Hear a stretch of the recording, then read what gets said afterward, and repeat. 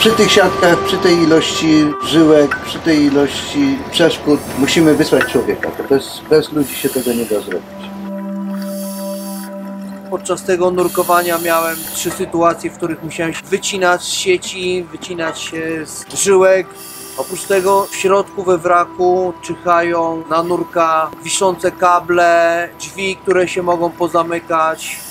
Można powiedzieć, że takie nurkowania są nurkowaniami niebezpiecznymi. Im dłużej tam jesteśmy, tym większe ryzyko dla nas, tym bardziej rygorystycznie musimy e, podejść do odbycia całej dekompresji. Widoczność podczas penetracji w środku we wraku spada momentalnie, czyli można wpłynąć do środka i już tam zostać na zawsze.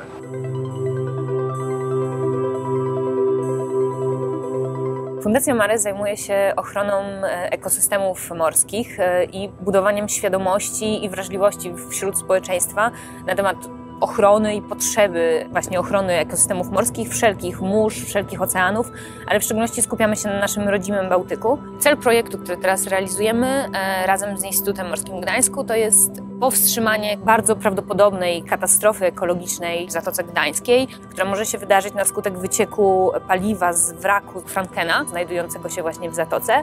E, który został zatopiony w czasie II wojny światowej. Jesteśmy w tej chwili w trakcie ekspedycji badawczej e, na wraku Frankena. E, razem z nurkami i całą ekipą naukowców badamy ten wrak, zastanawiamy się w jaki sposób ten wrak można oczyścić, żeby taką katastrofę powstrzymać i w ramach tego projektu będziemy taki plan działania opracowywać.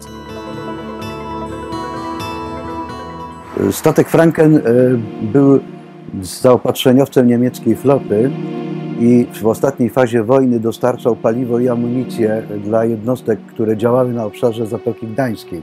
8 kwietnia 1945 roku, tuż około południa, został zaatakowany przez rosyjskie samoloty i skutecznie zatopiony.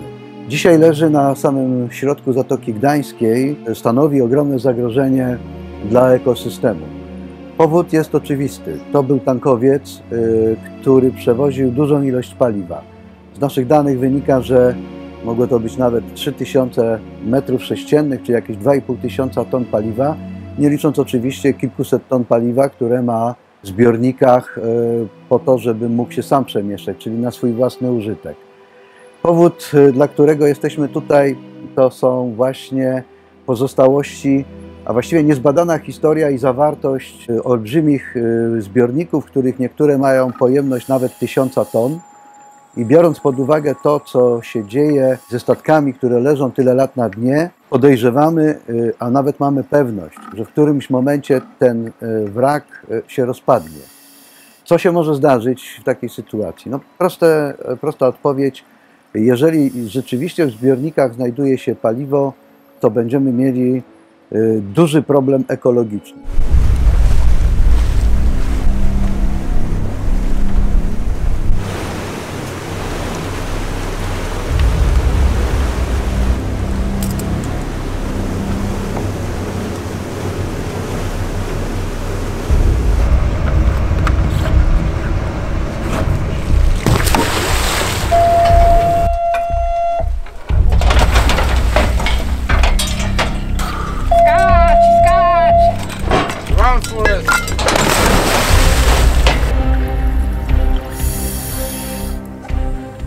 Zatoce Gdańskiej mieliśmy już jedną e, taką katastrofę na skutek wycieku z wraku. Ma to miejsce w Zatoce Puckiej e, z wraku e, Stuttgart, który także jest wrakiem pozostałością po II wojnie światowej. I tamto paliwo to było paliwo, które opadło na dno i tak naprawdę w osadach zostało na dnie i się cały czas rozprzestrzenia. W przeciągu pięciu lat od tego wycieku obszar ten zwiększył się sześciokrotnie i w tej chwili to już jest 415 tysięcy metrów kwadratowych, które tak naprawdę naprawdę są e, kompletną pustynią i śmiertelność na tym obszarze wszelkich organizmów wynosiła e, właściwie 100%.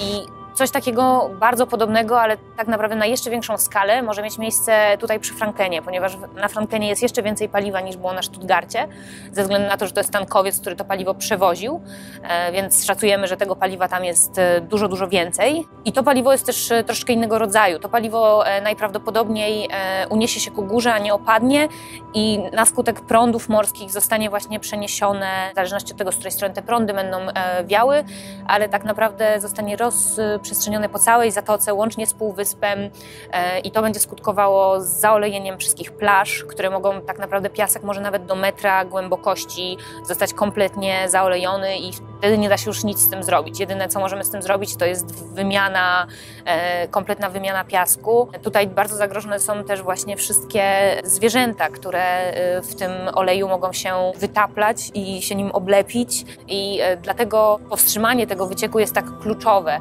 e, żeby to zrobić zanim ten wyciek będzie miał miejsce, czyli w tym momencie, w którym jesteśmy teraz, kiedy mamy możliwość e, zatrzymania tego przed tym, aż jakiekolwiek negatywne skutki dla środowiska będą miały miejsce. Oprócz strat środowiskowych, taki wyciek ropy w Zatoce Gdańskiej będzie miał także ogromne straty ekonomiczne. Mówimy tutaj o załamaniu się całej turystyki w rejonie. Wszystkie hotele przybrzeżne, cała aglomeracja trójmiejska na tym ucierpią. Ludzie nie będą przyjeżdżać, turystyka się załamie i tak naprawdę będzie miało to miejsce przynajmniej przez kilka lat, ponieważ żeby środowisko doszło powrotnie do takiego stanu, o ile w ogóle kiedykolwiek dojdzie, w jakim jest teraz, zajmie to bardzo długi okres czasu. E, I musimy o tym pamiętać. Musimy pamiętać o stratach e, środowiskowych, musimy pamiętać o stratach ekonomicznych i pamiętać o tym, że jest to sprawa nas wszystkich.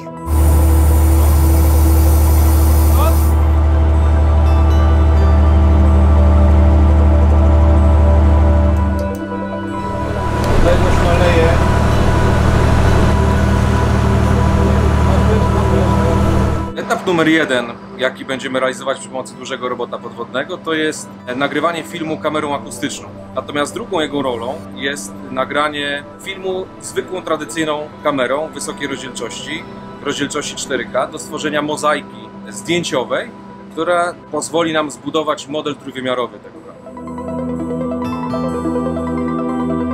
Niestety nasze pierwsze doświadczenia badane, jakie pozyskaliśmy, wskazują, że wrak jest y, już mocno zaawansowanym stadium rozpadu, w związku z czym istnieje duże prawdopodobieństwo, że w ciągu najbliższych kilku lat objawi się problem z zanieczyszczeniami, jakie ten wrak będzie generował. I ta chwila, którą poświęcamy na, na badanie, ma istotne znaczenie dla podejmowania decyzji na przyszłość. Jeżeli decyzje nasze będą zmierzały w kierunku zbudowania takiego całego procesu oczyszczania tego wraku, może się okazać, że zdążymy ubiec y, czas i spowodować, że nie będzie takiej dużej katastrofy, której spodziewamy się, tak?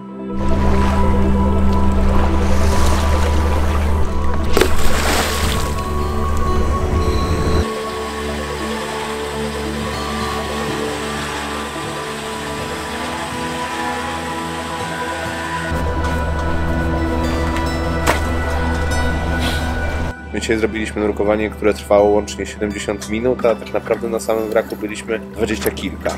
Pokazuje, że, że płacimy pewną cenę za to.